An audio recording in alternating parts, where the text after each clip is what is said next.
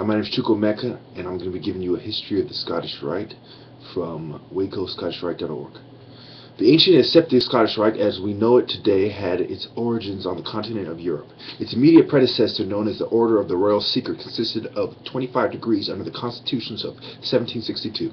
Masonic tradition maintains that the lodges of the Scottish Rite, transmitted from Bordeaux in France through the West Indies to the American mainland, were established at New Orleans, Louisiana in 1763, at Albany, New York in 1767, at Philadelphia, Pennsylvania in 1781 to 1782, and at Charleston, South Carolina in 1783. The Grand Constitutions of 1786 provided for an extension of the Rite to 33 degrees, governed in each country under a Supreme Council of the 33rd and last degree. Its provisions were cited in a manifesto at Charleston that confirmed the first Supreme Council ever opened under these Grand Constitutions on May 31, 1801, by brothers John Mitchell and Frederick Dalcho. All regular and recognized Supreme Councils and their subordinate bodies today are descended directly from, excuse me, directly or collaterally from this mother Supreme Council of the world. The name.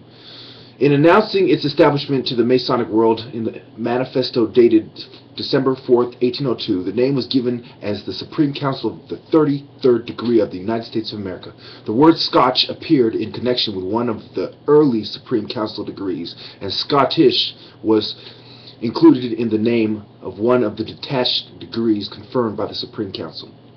The name Ancient and Accepted Scottish Rite first appeared in an 1804 agreement between the Supreme Council of France and the Grand Orient of France.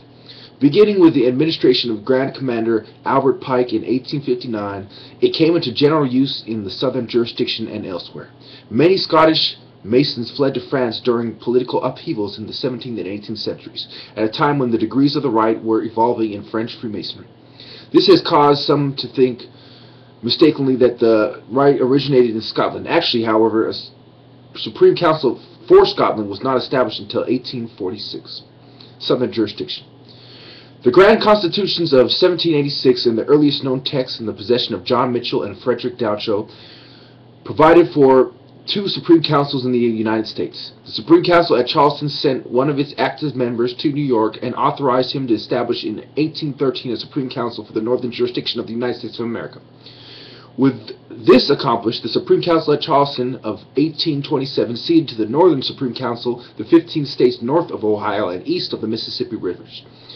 The Southern Supreme Council retained jurisdiction over all other states and territories of the United States.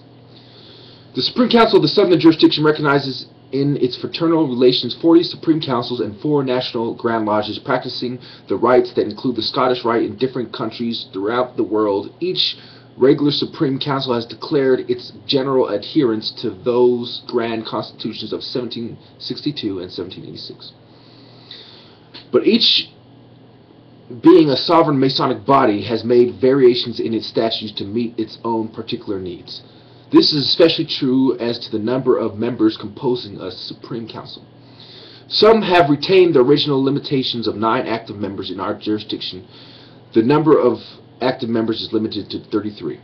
In other jurisdictions, larger or smaller limitations have been set to maintain the spirit of international unity.